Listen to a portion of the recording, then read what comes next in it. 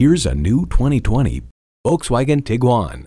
No matter how rugged the path is, you'll be traveling in premium comfort. It comes with the features you need and better yet, want.